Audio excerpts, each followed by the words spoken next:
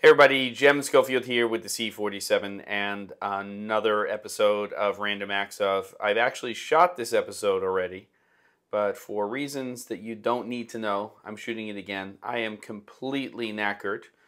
Uh, it is Sunday evening. I'm out in Oregon right now. I've been here for the last few days, uh, visiting my daughter. I was here for my alumni weekend, actually on Friday a lot of the alum come out a little early and they do seminars in the morning for high school students, basically on the different uh, careers that they have and what they do for a living. Uh, by the way, my daughter is pretty awesome. She got me some fizzy colas, which are not always easy to find. And even more importantly, these are little wire-based uh, C47s. So she got me three of those. So that makes me happy.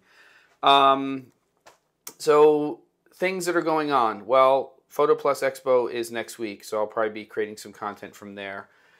This is going to be a pretty short one, uh, but I did want to mention that an article that I wrote and also a video that I did when I was in Scotland this summer, all about sort of all of this, uh, my vlogging kit and the things to consider when vlogging is now up. I will send you to a link uh, on my website for the video, which also has a link to the article that I wrote on Canon's website. And what else? Man, uh, I am tired, but I think that's it. Uh, oh, training wise, on the C47 website, I've actually updated all of the seminars and workshops and things I'll be doing in November and December in New York, NAB New York, in LA at AbelCine and for Canon.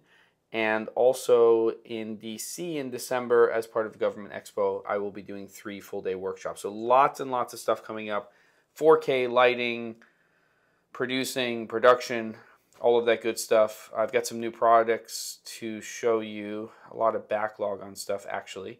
So what I'm going to do is I think I'm going to edit this. I'm going to go get some sleep, and I'll see you guys next time on Random Acts of.